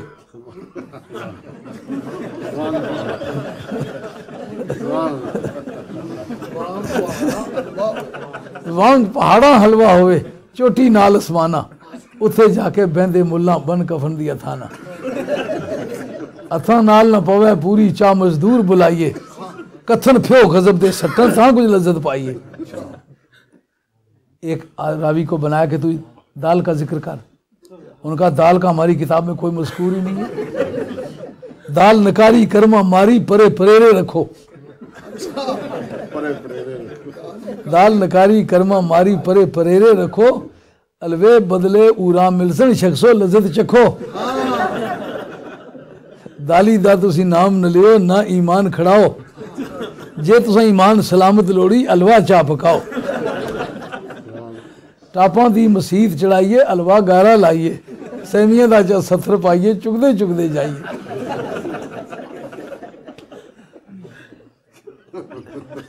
یہ داستانیں کیوں بنی؟ اتنی تو کسی چوڑے چمار کی مذمت نہیں ہوئی۔ آپ کو شاید یہ بات یاد نہ ہو کہ سادات کو ملازم نہیں رکھتے تھے۔ کیوں؟ اس جنگ آزادی میں قیادت کا کام سیدوں نے کیا تھا نا۔ کشمیر کے علاقے میں آج تک سید کے نام زمین نہیں ہوتی تھی۔ یہ جتنے لوگ آئے گئے ہوئے ہیں، باتیں کرتے ہیں، مگر ان کشمیر کے حالات کا ان کو پتہ نہیں۔ سید کے نام جو زمینیں ہوتی تھی، لوگ نذرانے کے طور پر دیتے تھے۔ تو سید کو مسجد کا امام ظاہر کر کے زمین کو مسجد کے نام وقف کرتے تھے۔ آپ کی عمر بھی چھوٹی ہے، آپ نے وہ منظر نہیں دیکھا۔ میری اپنی دیکھی بات ہے ہماری اپنی زمین وہاں ہے، اسی بنیاد پر ہے۔ اوتر ان کو کہتے، جن میں پانی لگتا تھا نا ان کو اوتر کہتے تھے۔ وہ مسجد کے نام وقف کر کے ہمارے بزرگوں کے نام انہوں نے منتقل کر دی کہ یہ اس کے متولی ہیں۔ سید کے نام زمین نہ ہونے کی کیا وجہ ہے؟ اس ملک میں نائی کے نام زمین کیوں ہوتی ہے؟ ہمارے ملک میں زمین نائی کے نام نہیں ہوتی تھی، وجہ کیا تھی؟ اس جگہ کارپینٹر کے نام، زمین ہونے میں کوئی امر مانے نہیں۔ ہمارے ملک میں مستری کے نام، کارپینٹر کے نام زمین نہیں ہوتی تھی، موچی کے نام نہیں ہوتی تھی، نائی کے نام نہیں ہوتی تھی۔ آپ ایمانداری سے علماء کے نام بیٹھے ہوئے ہیں۔ کسی نے کسی کتاب میں یہ پڑھا ہے کہ کسی بھی مسلمان کو کمینہ سمجھا جا سکتا ہے؟ ان کے کاغذات میں ان کا نام تھا کمین۔ بعد میں لوگ بول چال میں کہتے ہیں کمی جمی قدر گئے۔ یعنی ان کو کبیرہ سمجھتے تھے۔ جب قرآن کہتا ان العزت للہ ہے ولی رسول ہی ولی المومنین اللہ عزت والا ہے، رسول عزت والا ہے، ہر کلمہ پڑھنے والا عزت والا ہے۔ اور بعض جگہ سیدوں کو معین قرار دیا تھا، دوسرے درجے کا کمی۔ وجہ، چونکہ انہوں نے جنگ آزادی میں حصہ لیا تھا۔ یعنی یہ لڑے تھے ان لوگوں کے ساتھ۔ اب دیکھنا ہوگا، جب سید بھی ادھر سے ہو کے لڑے، مولانا بھی ادھر سے ہو کے لڑے، مسلمان بھی ادھر سے ہو کے لڑے تو وہ بھی اگر مسلمان ہی ہوتے تو ادھر سے لڑتے نا؟ ہاں، سمجھ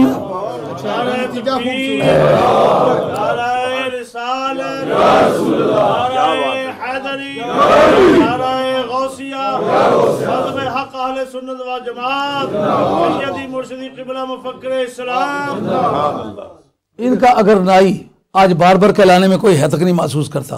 ہمارا بار بار کیوں حتک محسوس کرتا ہے کہ اس کو انہوں نے ڈیڑھ سو برس تک اتنا ذلیل کر کے رکھا کہ وہ سمجھتا ہے کہ میں مان جاؤں کہ میں میں نائی ہوں تو میں کمینہ سمجھا جاؤں گا۔ اسلام تو کمینے کا حامی نہیں۔ اچھا۔ حضرت تلخہ نبی پاک علیہ السلام کی ذات پاک کی حجامت نہیں بناتے رہے؟ تو اگر حجامت بنانے کی وجہ سے کوئی کمینہ ہو تو پھر صحابی باز اللہ کمینہ ہوئے؟ نہیں اسلام میں کوئی کمینہ نہیں ہے۔ اب جس وقت یہ مسئلہ عام ہو گیا کہ جناب یہ جنگ کنہوں نے لڑی ہے کہا جنہوں نے جنہوں نے لڑی ہے، ان کی خبر لو۔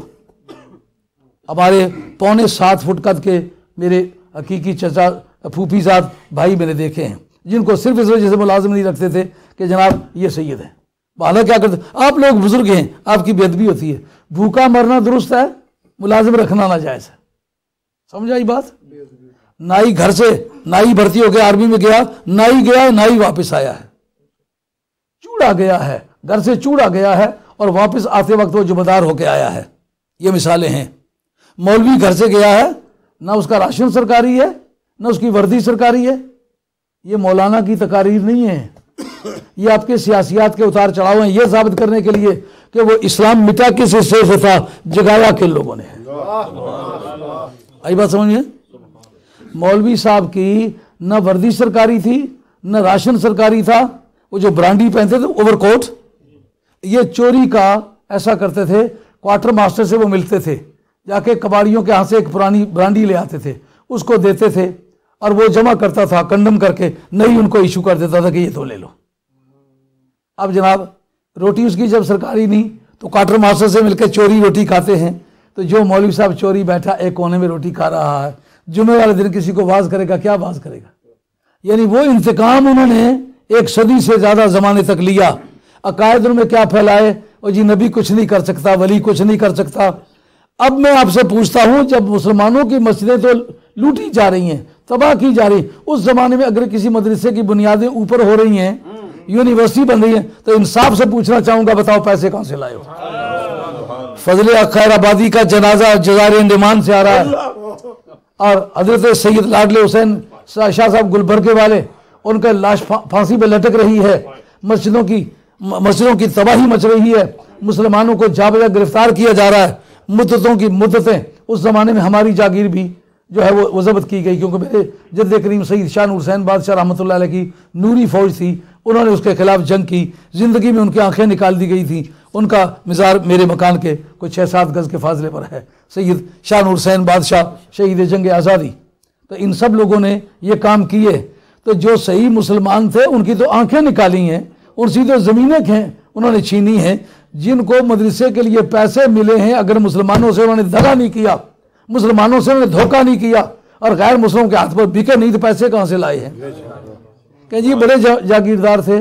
اگر بے تمہارے کاغذات مال رکھے ہوئے ہیں، اگر ثابت کر دوں جلائے ہیں، خود اپنی کتابوں میں لکھا ہو، پھر جاگیر کہاں سے آئے گی؟ ہیں تمہارے خاندان کی تو ایک انچ زمین نہیں تھی۔ یہ کہاں سے زمینیں آئیں؟ اس وقت اٹھارہ سو ستاون کی جنگ آزادی ہو رہی ہے۔ اعلیٰ حضرت فاضل بریلوی رحمۃ اللہ کی ولادت اٹھارہ سو چھپن میں ہو رہی ہے۔ ادھر نبی میرے جیسا ہے، میں نبی جیسا ہوں اور وہ پیسے کلیکٹ کیے جا رہے ہیں۔ یونیورسٹی کی بنیاد رکھی جانے والی ہے۔ اٹھارہ سو سڑسٹھ میں اس کی بنیاد رکھی جانے والی ہے۔ ادھر گورڑے کا شہنشاہ۔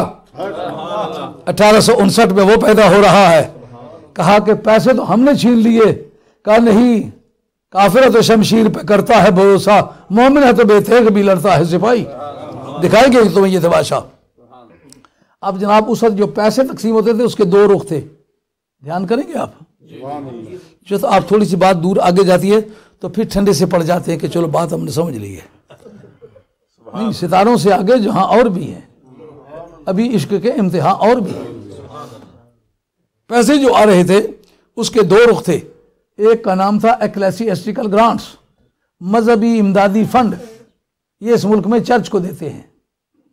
وہ اس ملک میں مولویوں کو دیے۔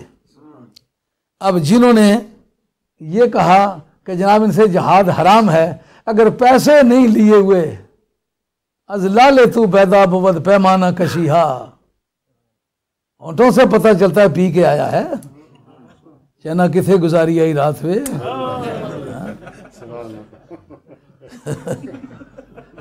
سمجھ آ رہی ہے نہیں آ رہی؟ ایکلیسی گرانٹ، اگر وہ پیسے نہیں لیے تھے تو بولی کیوں بدلی؟ قرآن سے ثابت کرو یہ بدلی، یہ بولی مسلمان کی بولی ہے؟ حدیث سے ثابت کرو، یہ مسلمان کی بولی ہے؟ کسی کی بھی نہیں۔ دوسرا رخ کیا تھا؟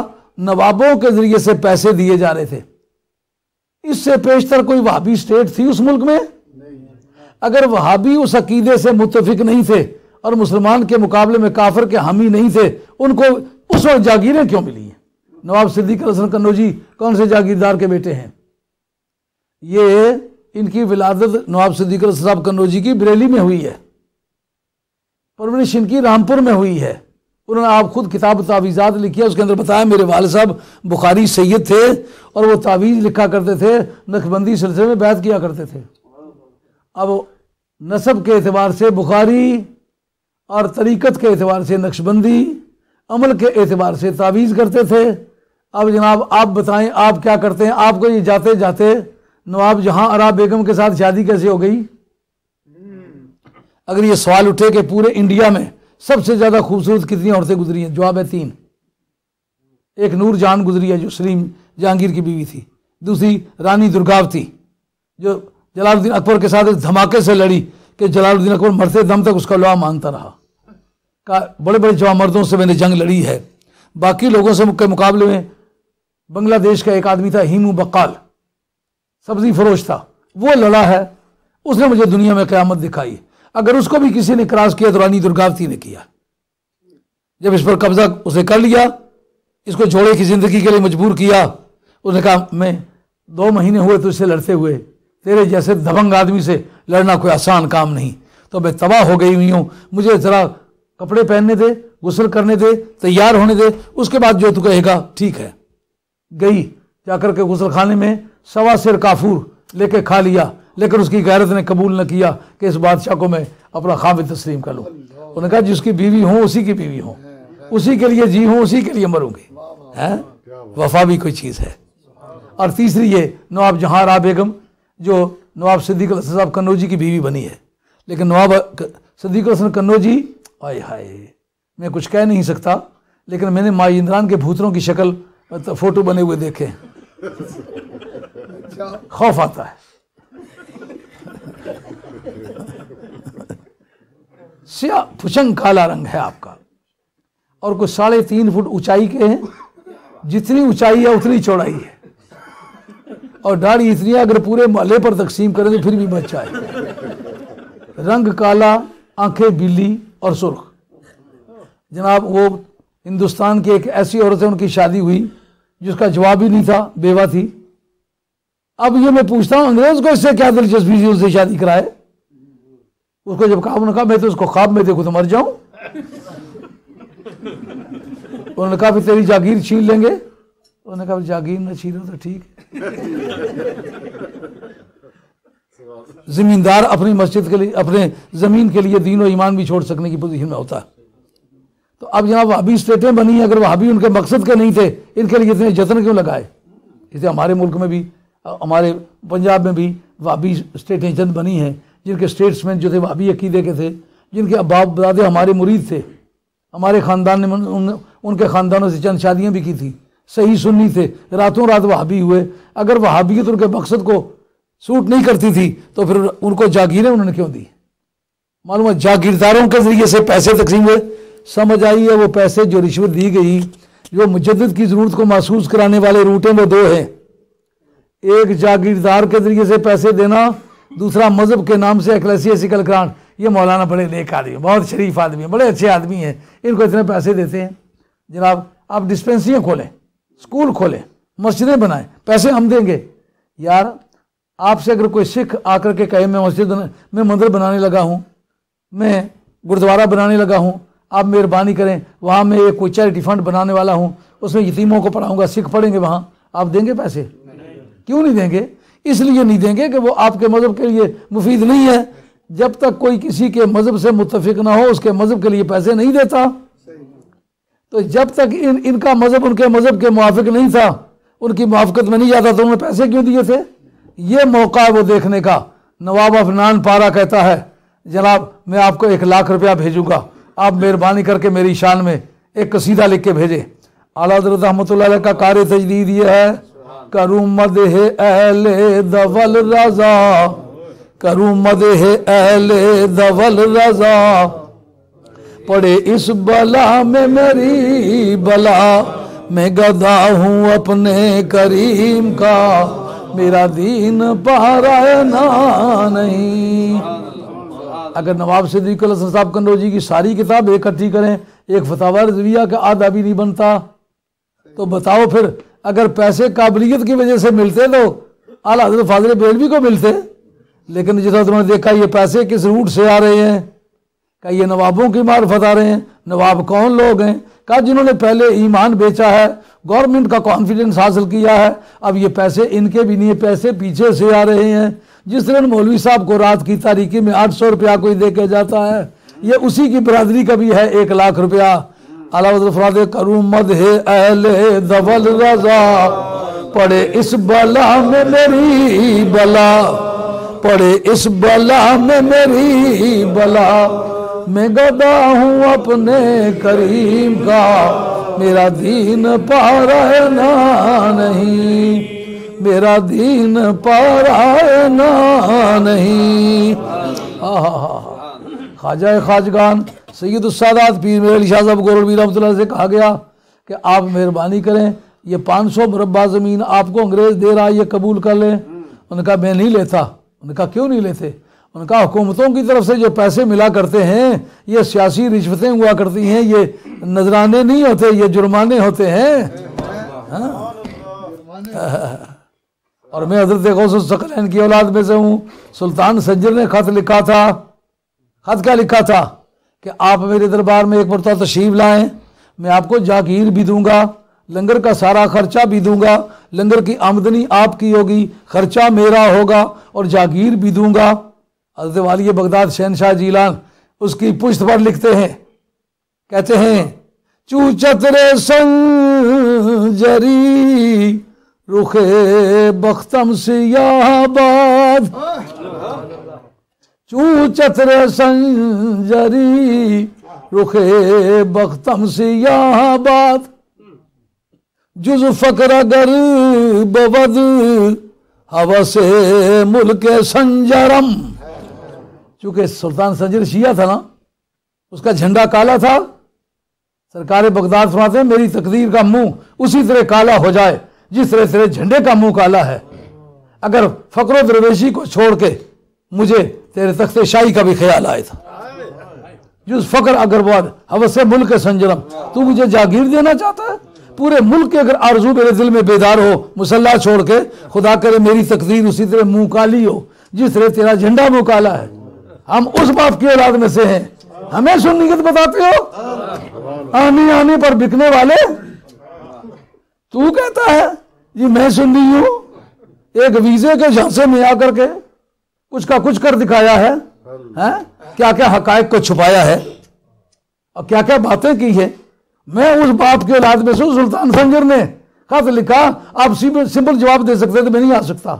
انہوں نے کہا کہ خدا کرے، میری تقدیر کا منہ اسی طرح کالا ہو۔ جس طرح تیرے جھنڈے تیرا جھنڈا کالا ہے اگر اپنا مسلح چھوڑ کے تیری پوری بادشاہی کی آرزو کروں۔ زانگا کے خبر یافتم از ملک نیم شب۔ صد ملک نیم روز بیک جونمی خرم۔ جب سے لے کر مجھے آدھی رات کی حکومت کا پتہ چلا ہے تو تو کہتا نا میں تمہیں جاگیر دوں گا جاگیر نہ دے پورا ملک دے۔ اور ایسا ملک ایک مرتبہ نہ دے، ایک سو مرتبہ دے۔ وہ تیرا ملک سو مرتبہ لے کے میں اپنی فقیری کا جو نہ دوں۔ ہاں؟ ہمیں سنی شیعہ کی بحثوں میں ڈالتے ہیں۔ آج نہیں، تو پچاس سال پہلے کسی جگہ، یا حسین یا حسین، یہ تمہاری تاریخ میں لکھا ہوا ہے۔ ہاں؟ چاول کھا کے، یا عباس یا عباس۔ آیا سا چاول، گیا پاس یا عباس یا عباس۔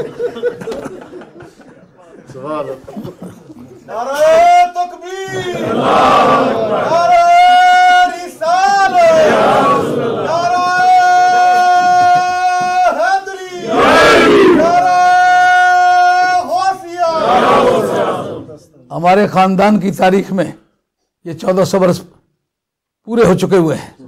ایک سنگل مثال ایسی نہیں ہے ہمارے خاندان کا کوئی آدمی شیعہ گزرا ہو۔ کیونکہ سرکار بغداد رضی اللہ عنہ کا موقف اتنا واضح اور سخت ہے کسی کو برداشت نہیں کرتے۔ خواجہ گولڈوی رحمۃ اللہ نے کہا، مجھے تم آج پانچ سو مربع دینا چاہتے ہو، یہ ان دنوں کی بات ہے۔ خواجہ گولڈوی رحمۃ اللہ نے کہا، اگر آپ جائزہ لیں اٹھارہ سو ساٹھ کے بندوبست میں، خواجہ گولڈوی کے خاندان کی سوائے رہائشی مکان کے نقشہ آبادی دے میں ان کا نام ہے، کسی زرعی زمین میں ان کا نام نہیں ہے۔ آج اللہ تعالیٰ کی شان دیکھیے کہ کئی ہزار کنال اسلام آباد کے ایریے میں ہے کہ جو ایک ایک کروڑ کی سے لے کر کے چار چار پانچ پانچ کروڑ تک سفید زمین ہے۔ اس کے مالک دروازہ والے گوڑا شیف ہے لیکن وہ پچاس مربع اس وقت رد کرنا، جس وقت کے نقشہ آبادی دے سے چھوڑ کے ایک برلا زمین نہیں ہے، واہ خواجہ گولوی، تیری استقامت پہ قربان۔ مجددین کے نقشے دیکھے ایسا نہیں کہ وہ پیسے لے کے کافروں کی تلواریں لے کے مسلمانوں پر چلائیں۔ اب جناب، اعلیٰ حضرت فاضل بریلوی رحمۃ اللہ تعالیٰ نے جب دیکھا کہ اب دین کا کون حصہ حصہ مٹنے لگا ہے۔ جب یہ بولی بولی گئی نبی میرے جیسا ہے، میں نبی جیسا ہوں۔ اب مرزا قادیانی پیدا ہوتا ہے سن انتالیس میں، اٹھارہ سو انتالیس میں۔ جس وقت یہ دونوں بزرگ ابھی نابالغ ہیں تو وہ بےمان اپنے بلوغت کو پہنچا ہوا ہے۔ وہ اس سودے میں آ گیا ہوا ہے۔ جس وقت ان کو کہا کہ تم کچھ تیاری کرو، تمہارے لیے بندہ مہیا کرتے ہیں۔ اب جس وقت انہوں نے یہ کہا کہ نبی میرے جیسا میں نبی جیسا ہوں، اس شکرے کبے کو ترتیب دیں، کیا معنی نکلے گے؟ میں نبی جیسا ہوں اور ہر میرے جیسا آدمی روزانہ پیدا ہو سکتا ہے۔ اب نتیجہ منتقیہ کیا ہوگا؟ نبی روزانہ پیدا ہو سکتا ہے؟ آپ کا کہ جناب، ہم نے تو اس کو نہیں کہا تھا کہ تم نئی نبوت کا دعویٰ کرو۔ اس پر آپ کو پاکستان پیریڈ کوڈ کی کرمنل بیٹمنٹ اس سیکشن کا نام ہے۔ کرمنل بیٹمنٹ غالباً ایک سو سات سے وہ شروع ہو کر کے آگے جاتی ہیں۔ اس کے اندر ایک بحث ہے۔ کرمنل بیٹمنٹ اعانت مجرمانہ۔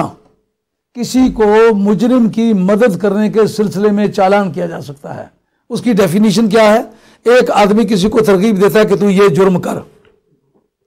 لیکن یہ جس جرم کو اس نے ترغیب دی ہے، جس جرم کے بارے میں اس نے اس کو آمادہ کیا ہے، اس جرم کو کرتے وقت بیرسٹر کہاں چلا گیا؟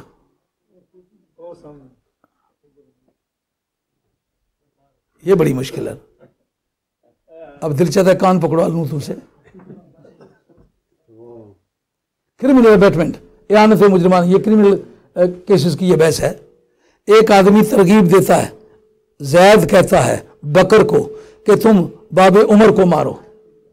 باب عمر کی، عمر کتنی ہے؟ پچاسی برس۔ اور بکر کی عمر کتنی ہے؟ تیس برس۔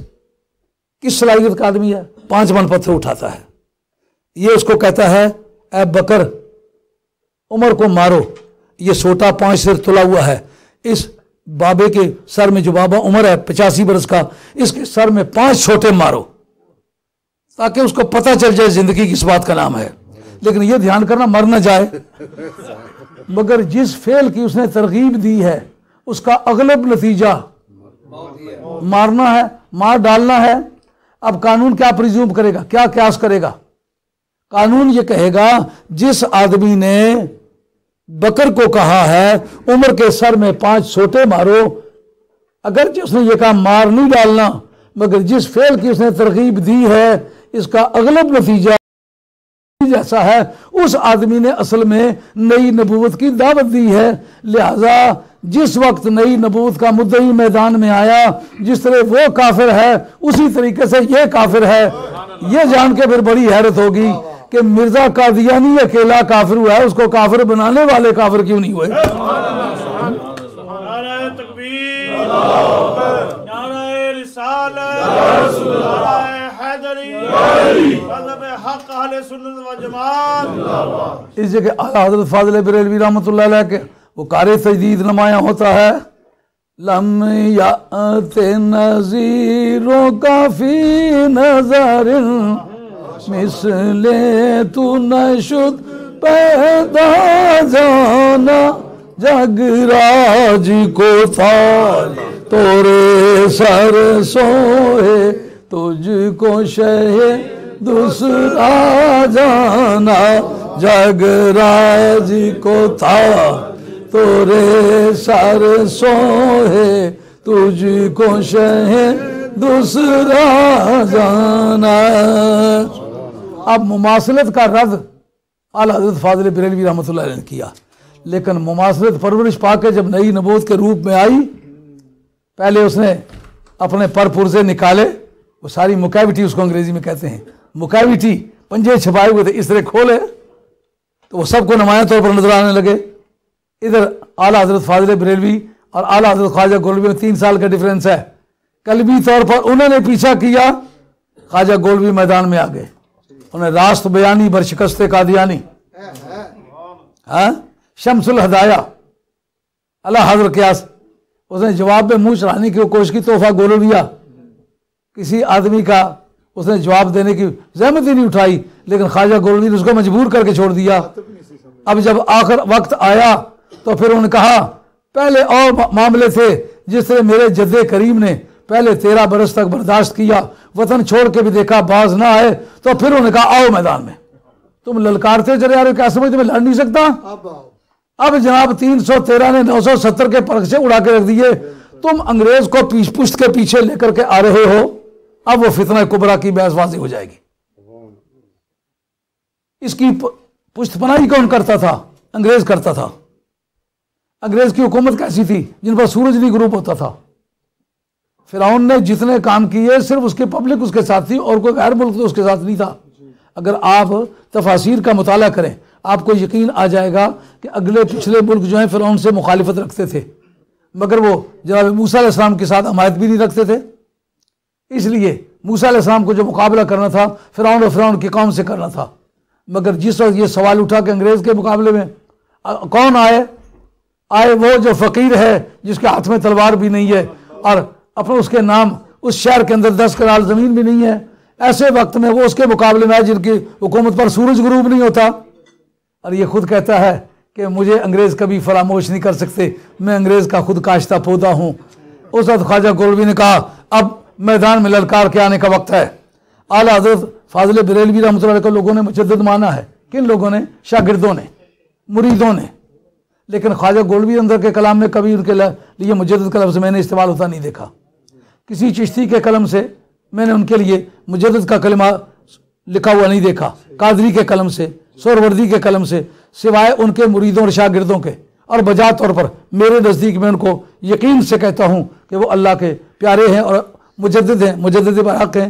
جنہوں نے ان کو مجدد تسلیم کیا وہ حق پر ہیں۔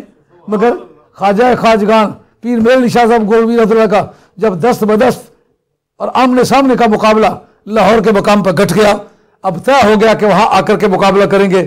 اب جو سرکار نے فرمایا تھا، ان اللہ یمن علی حاضر امت علی راس کل میت سنت برجل من آل بیتی یبین لهم امر دینہم۔